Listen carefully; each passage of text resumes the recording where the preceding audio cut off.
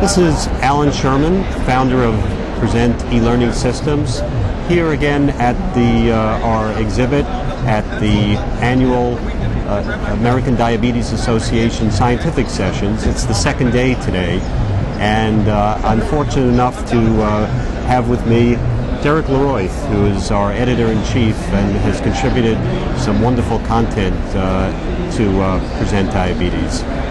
Derek is uh, chief of the Division of uh, Endocrinology, Diabetes, and Bone Disease at Mount Sinai Medical School, and a keen observer on the trends in uh, diabetes care and research. Uh, Derek, uh, what have you found are the uh, interesting topics that are being discussed at the meeting this year? So I've been focusing on the relationship between obesity and type 2 diabetes because as everybody knows there's a major epidemic both of obesity and it's then leading to more type 2 diabetes. So I went to listen to some symposia and discussions around the treatment and the investigation of how obesity comes about and how to treat it in order to prevent the development or improve the situation of type 2 diabetes. And I found one or two topics that were very interesting. Uh, following on previous information, one of the investigators presented um, on how fitness affects the outcomes in obese individuals. And what they discussed was that even if individuals who are obese are prepared to exercise and become, uh, the term is used, treadmill fitness. If there's a certain degree of aerobic exercise that they do constantly every day, even if they have trouble losing weight, their long-term outcomes are improved. Excellent. There'll be less development of diabetes and there'll be lower mortality.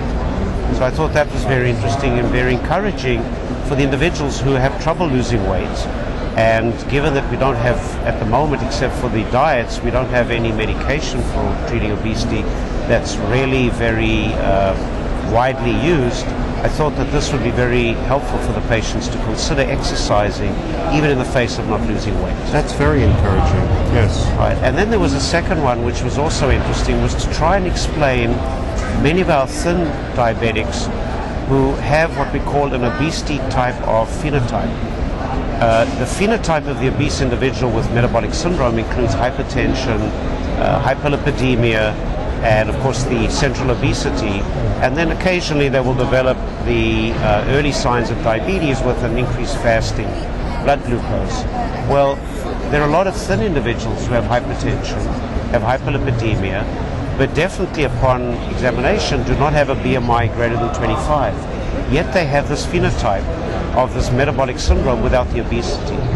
And the studies show that they fit right in to the classic case and that they should be looked at just like an individual who comes into the office with obesity and treated for the hypertension, hypertension, hyperlipidemia as if they were an obese individual with the same problem. So not all cases of this metabolic syndrome or pre-diabetic syndrome necessarily are obese. And that's something that physicians should be aware of. And the third issue that I'd like to discuss was uh, the question of which is better for you, to go on diet or to lose your weight through exercise. And the evidence suggests that if you lose the same amount of weight by exercising, you have a better chance of remaining thin than if you go on a diet and lose the same amount of weight. Because as we know with the diets, they often rebound. It's very hard to stick with the diets.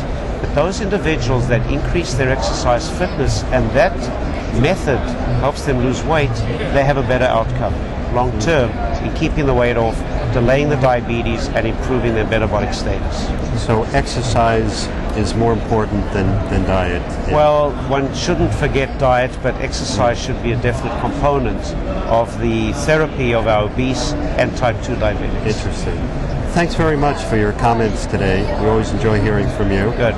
Thank you. And uh, we'll uh, be reporting to you uh, in subsequent episodes more of what happens at the American Diabetes Association scientific sessions.